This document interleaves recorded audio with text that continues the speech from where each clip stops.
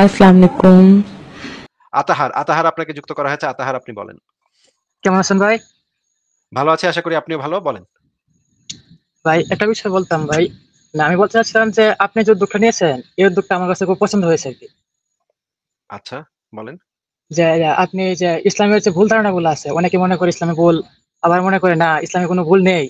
না এই বিষয়গুলো যে আপনি উন্মোচন করতেছেন, এজন্য আরকি মানে আপনাকে আমার পছন্দ। আচ্ছা, ঠিক আছে। মানে আমি একটা জিনিস জানতে চাচ্ছিলাম যে আপনি শুধু ইসলামের ভুলই কেন ধরেন? অন্যান্য ধর্মেও তো ভুল আছে। অন্য ধর্মের ভুলগুলাই তো বেশি। ইসলাম ধর্মে খুব কমই ভুল আছে। মানে ভুল নেই বলতে গেলে চলে। আমি অনেক হুজুরের কাছে জিজ্ঞেস করছি, অনেক দায়ীর কাছে জিজ্ঞেস করছি। তাদের কাছে জিজ্ঞেস করলে তারা সম্পূর্ণ সঠিকভাবে দিয়েছে। আমি কোনো ভুল পাইনি। তো আপনার কাছে আসলে বোঝা যায় যে আসলে ভুল থাকতে পারে। কিন্তু আমি ভুল পাইনি আপনি মুসলমান আমি জানতে চাচ্ছিলাম আপনি মুসলমান আলেমদের কাছে গিয়ে জিজ্ঞেস করছেন ইসলামের কোনো ভুল আছে কিনা নাকি? তারা বলছে আপনি জি, আপনি যেগুলা যে ব্যাখ্যা করেন যে ইসলামে ওই একটু ওই ভুল একটু ওয়েট, একটু ওয়েট। কথা কথা একটু শুনে নেন। আগে কথা শুনে নেন। মানে আপনি ইসলামে বিশ্বাসী একজন আলেমের কাছে গিয়ে জিজ্ঞেস করছেন, "ভাই, ইসলামে কি কোনো ভুল আছে?" সে না আপনারে আমি এভাবে জিজ্ঞাসা করি নাই। না আমি এভাবে জিজ্ঞেস করি নাই। আমি না। বলছিলাম না আমি কিছু কথার কিছু মাঝখানে কথা না। কথার মাঝখানে কথা না।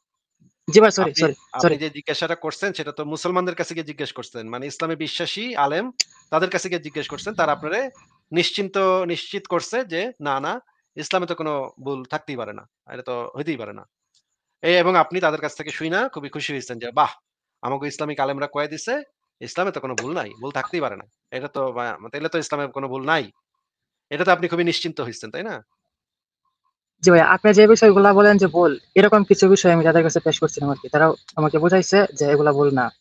আচ্ছা, মানে তারা তো ইসলামের আলেম তারা তো। তারা তো ইসলামে বিশ্বাসী, ইসলামের আলেম তো, তাই না?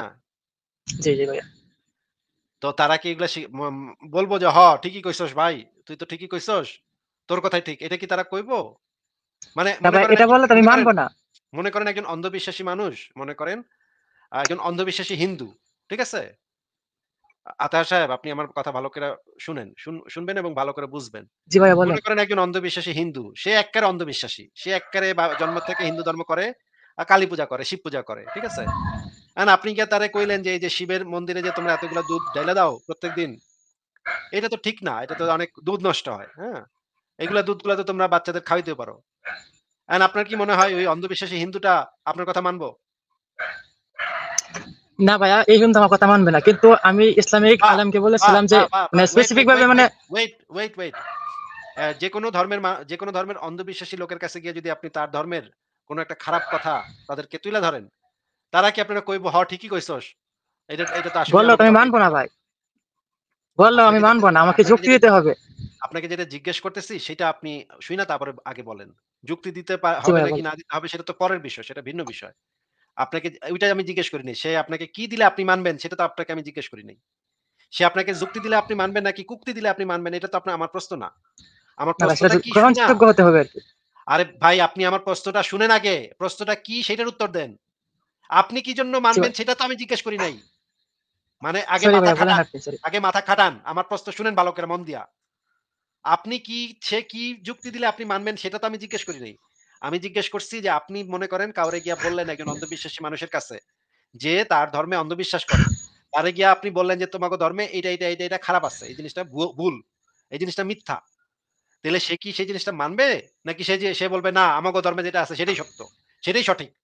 আমাগো ধর্মে কোনো ভুল নাই। এটা বলবে। কোনটা বলবে? হ্যাঁ, বলেন। কোনটা বলবে সে? ভাইয়া সে তো মানবে না। কারণ সেটা মনে করেন দেওয়ানবাগি সে তো আপনি কি বলবে যে আমার ধর্মে কোনো ভুল নেই। মানে আপনি কি দেওয়ানবাগি পীরে বিশ্বাস করেন? না ভাই আমি দেওয়ানবাগী পীরে বিশ্বাস করি না। আচ্ছা মনে করেন দেওয়ানবাগি পীরেরে একটা আপনার একটা দোস্ত দেওয়ানবাগী পীরেরে বিশ্বাস করে। সে অন্ধ বিশ্বাস করে। দে দেওয়ানবাগী পীরের জন্য পাগল সে। আপনি যদি গিয়া তারে বলেন যে, "ভাই দেওয়ানবাগী পীর তো একটা ভুয়া পীর, বন্ড পীর। এগুলা তো ঠিক না। এগুলা তো সে ২ নাম্বারি করে।" সে কি মানবে নাকি সে মানবে না? না ভাইয়া সে মানবে না। তারে আপনি যতই যুক্তি দিয়ে বুঝান না কেন, সে কি মানবে নাকি মানবে না? মানতেও পারে এটা হচ্ছে তার ইমানের বিষয়। যদি যদি আমি ভালোভাবে তাকে অন্ধবিশ্বাসী হয়, সে যদি কট্টর অন্ধবিশ্বাসী হয়, তাইলে কি সে কখনো মানবে নাকি মানবে না? না তার তার মানে তার ব্রেইন যদি ব্লক হয়ে যায়, তার বিবেক শক্তি যদি ব্লক হয়ে যায় তাহলে মানবে না। আচ্ছা। তার মানে আ মানে একজন মানুষ যদি অন্ধবিশ্বাসী হয়, তাইলে তার ধর্মে সে কখনো কোনো ভুল খুঁজে পায় না, তাই না? কিন্তু ইসলাম তো বলে না অন্ধবিশ্বাস করতে। ইসলাম তো অন্ধবিশ্বাস করতে বলে। আপনাকে বহু জায়গাতে আমরা বহুবার দেখাইছি ইন ইসলাম পরিষ্কারভাবে অন্ধবিশ্বাস করতে বলে। আচ্ছা আপনাকে আমি একটা ভিডিও দেখাচ্ছি। আপনি আগে ভিডিওটা একটু দেখেন। সেই ভিডিওটা দেখে আমাদেরকে বলেন যে ইসলামে এই বিষয়ে কি বলা হয়? আ ভাই ইসলামে যে আলেমের জিনিসটা ভিডিও বলা হয় দেখাবেন না। কোন আলেম বা কোন আলেম বা বক্তার আলেমের ভিডিও ভিডিও দেখাবেন দেখ না। আলেমের ভিডিও দেখাবো। আলেমের ভিডিও দেখাবার পরে সেই বিষয়ক হাদিসও দেখাবো। আ সবকিছুই দেখাবো। আপনি যদি আপনার কথা মতো তো প্রথা যে আছে আপনার কথা মতো তো ভাই আমি চলব না। তাই না? আপনার কথা মতো তো আমি চলব না। আমি যেটা দেখাবো সেটা আমার লাইভে আমি দেখাবো। আপনি আমি কি দেখাবো সেটা তো আপনি ডিসাইড করবেন না ভাই। শুনেন। মোহাম্মদ আল্লাহ বলেছেন যালিকা বিআন্নাহুম কারিহু মা নাযালাল্লাহু ফাআহবাতা আমালহুম আল্লাহর নাযিলকৃত বিধানকে তারা ঘৃণা করেছে মেনে নিতে সংকোচ করেছে এই জন্য তাদের সমস্ত আমল আল্লাহ বাতিল করে দিয়েছেন, পুরো দিন বাতিল। ওমাই ইয়াকফুর বিল ইমানে ফাকাদ হাবাতা আমালু সূরা মাইদার 5 নম্বর আল্লাহ বলেছেন, ইমানের সাথে যে কুফরি করবে তার এই সমস্ত আমল বরবাদ হয়ে যাবে। ইসলামের কোনো জিনিস মানতে সামান্য সংকোচ করলে ইমান বরবাদ। কোনো সংকোচ থাকতে পারবে না। এই সংকোচে আল্লাহর দিন মানতে হবে। সামিনা ওয়া না শুনলাম আর মানলাম, আর কোনো কথা নেই। নবীজি বলেছেন, ইন্নামাল মুমিনু কাল জামালিল আনিফ হাইসু মাকিদান কদ। মুমিন হলো নাকে রশি লাগানো উটের মতো। যেখানে বাঁধবে ওখানে থাকবে, কারণ মুখ না দিলে তো নাকের মধ্যে ব্যথা লাগবে। নবীজি বলেছেন ইন্নামাল মুমিনু কাল জামালিল আনিফ হাইসু মাকিদান কদ মুমিন হলো নাকে রশি লাগানো উটের মতো যেখানে বাঁধবে ওখানে থাকবে কারণ মুখ না দিলে তো নাকের মধ্যে ব্যথা লাগবে নবীজি আচ্ছা এখানে কি বলল? এই মানে আমাদের যে মুফতি ইব্রাহিম সে কি বলল একটু বুঝায় দেন তো ভাই? ভাই আমি দুঃখিত আমার নেট স্পিড খুব কম এজন্য শুনতে পাই নাই। আপনি যদি বলেন তাহলে আচ্ছা আমি তাহলে বুঝতে পারব। তাহলে আপনার নেট স্পিড যেদিন ভালো থাকবে সেদিন আপনি যুক্ত হয়েন। ঠিক আছে? কারণ এইভাবে ভাই আপনার কথা আমি শুনতে পাচ্ছি। হ্যালো ভাই আপনাকে একটা বিষয় জিজ্ঞেস করতে পারব? না জিজ্ঞেস করতে পারবেন না। আপনাকে যে ভিডিও দেখাইছি সেটা যেদিন আপনি শুনতে পারবেন ভালোভাবে, যেদিন নেট স্পিড ভালো থাকবে, প্রয়োজনে আপনি সূরা ইখলাস পড়ে ৩ বার ফু দেন মোবাইলের পিছনে। তাইলে আপনার নেট দেখেন নেটের স্পিডটা ভালো হয় কিনা। নেটের স্পিড ভালো না হইলে আমার সাথে আমি কথা বলি না ভাই। আ আপনি কি আ ভিডিওটা আসলেই শুনেন নাই নাকি শুনছেন এখন কইবেন না? কিছু অংশ মানে কিছু অংশ শুনতে পারছি মানে আটকে, আটকে আসছে আরকি। আচ্ছা সেখানে কি কইছে? এই হুজুরে কি কইছে? সূরা মাইদার একটা আয়াত বলছে সেখানে কুফর সম্পর্কে কিছু বলা হইছে আরকি। আচ্ছা ঠিক আছে। এই হাদিসটা আমাদেরকে পড়ে শোনান।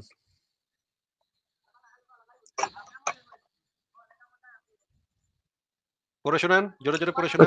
কোন কোন অংশটা পড়ব? দাগানো অংশটা পড়ব? আ নিচের পড়েন। তোমাদের মধ্যে যে বেঁচে থাকবে এখান থেকে পড়েন। তোমাদের মধ্যে যে বেঁচে থাকবে সে অচিরেই অনেক মতবিরোধ দেখতে পাবে। অতএব তোমাদের অতএব তোমাদের উপর তোমাদের নিকট পরিচিত আমার আদর্শ এবং হেদায়ত প্রাপ্ত ওমা! গেছে গিয়া। আতাহার আপনার বোধহয় নেট চলে গেছে। আপনি বোধহয় কম টাকা দিয়ে কম ইয়া কিনছেন। এজন্য চলে গেছে। আচ্ছা আমি আপনাদেরকে ফারাজ ভাই কি আছেন? ফারাজ ভাইয়ের তো কোনো খবর নাই। আমরা আমি আপনাদেরকে সেই আরেকটা ভিডিও দেখাই দেখেন। যুক্তিবিদ্যা আপনি কেন পড়বেন এটা আগে নির্ধারণ করেন। যুক্তিবিদ্যা যদি কোনো আপনি বলেন যে একটা বিদেশে পড়তেছি তাহলে পড়তে পারেন। যুক্তিবিদ্যার জন্য আপনার যুক্তিবিদ্যা দিয়ে আপনি ইসলামের কোনো উপকার করতে পারবেন না। এটা আপনাকে মনে রাখতেই হবে। ইমাম শাফি রহমাতুল্লাহ, ইমাম ইউসুফ রহমাতুল্লাহ বলতেছেন যে, কেউ যদি কোনো ওসিয়ত করে যে, আমার এই সম্পদ আলেমদের জন্য, তো যুক্তিবিদ্যা যারা শিখছে, তারা পাবে না এর থেকে। এটা কারা পাবে? কোরআন, সুন্নাহ এবং হাদি, কোরআন সুন্নাহ এবং ফিকহ যারা শিখে, তারা শুধু পাবে। যুক্তিবিদ্যা শিখে পাবে না। এবং অনুভব ইমাম ইউসুফ থেকে এটাও বর্ণিত আছে, বা শাফি থেকে বিভিন্ন বর্ণনা আসছে এটা, যে আমাদের ওনাদের নির্দেশ ছিল যারা এরকম যুক্তিবিদ্যা শিখে তাদের গাধার ভিতরে চড়াইয়া তাদেরকে সারা শহরে কাল চুনকাল মিথ্যা শহর, শহর ঘুরিয়ে দেখা বলবে যে এটা হচ্ছে ওই ব্যক্তি যে ব্যক্তি অ্যা আল্লাহর দিন ছেড়ে বিভিন্ন জিনিসে নড়াচড়া করে। এজন্য আপনি যুক্তিবিদ্যা শিখার যুক্তিবিদ্যা শিখার মূলত কোনো মৌলিক কোনো কারণ নাই। আচ্ছা আপনারা দেখলেন যে যুক্তিবিদ্যা এগুলা কিন্তু ইসলামে নিষিদ্ধ। হুম? এই যে এগুলো হচ্ছে কুফরি কালাম, হ্যাঁ? এই শয়তান যুক্তিবিদ্যার চর্চা করতো হুম? শয়তান হচ্ছে প্রথম যুক্তিবাদী হচ্ছে ইসলামের কনটেক্সটে প্রথম যুক্তিবাদী হচ্ছে শয়তান। এই কারণে যুক্তি না মানে ইসলামের আকিদা হচ্ছে অন্ধবিশ্বাস, ইমান ইমানের সংজ্ঞাই হচ্ছে অন্ধবিশ্বাস। আচ্ছা আমি পরে